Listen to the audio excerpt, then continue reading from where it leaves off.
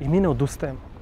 Mi ne odustajemo ni po ovim vremenskim okolnostima. I nije ovo tako strašno, ima 33, 34 stepena, bit će i 40.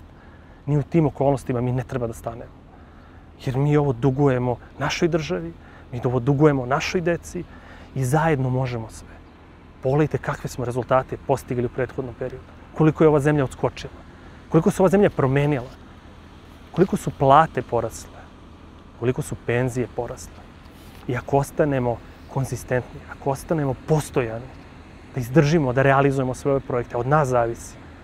One će još više rasti, penzije će još više rasti, ekonomija ove zemlje će još više rasti.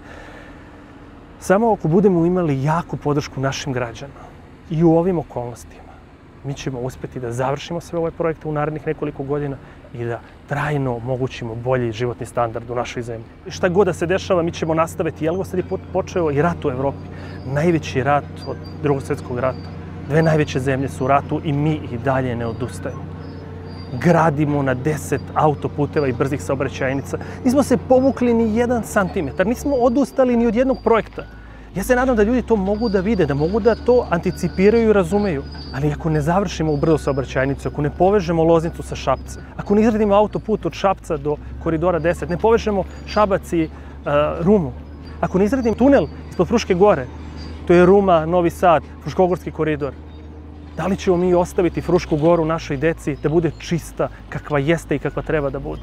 Danas tamo prolazi stotine ili hiljade kamiona svaki dan kruzirik samo transportuju ti kamioni. Mi moramo da otvorimo Frušku goru za sadržaje kulturne, turističke, privredne, a ne da to bude transportna destinacija. Ako ne povežemo uh, Požarevac sa autoputem, onda Požarevac, Gradište, Golubac, nećemo otvoriti novu perspektivu ni za Gradište, ni za celu tu Dunavsku regiju.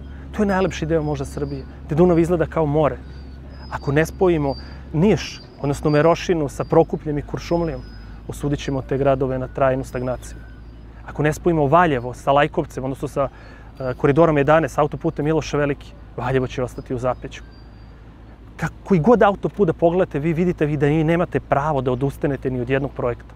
Svi ovi projekti su projekti Aleksandra Vučeća. On ih je pokrenuo. I mi koji smo njegovi saradnici zaista imamo obavezu da zajedno sa njim nešto ostavimo iza sebe neverovatne stvari je čovjek pokrenuo. Posle fiskalne konsolidacije koje je najznačajnija fiskalna rekonstrukcija u Evropi, saniranje fiskalnog budžeta najveći u Evropi, mi smo stvorili preduslove da izgradimo sve ove autoputeve. I mi moramo da pokažemo tu snagu da ih realizujemo.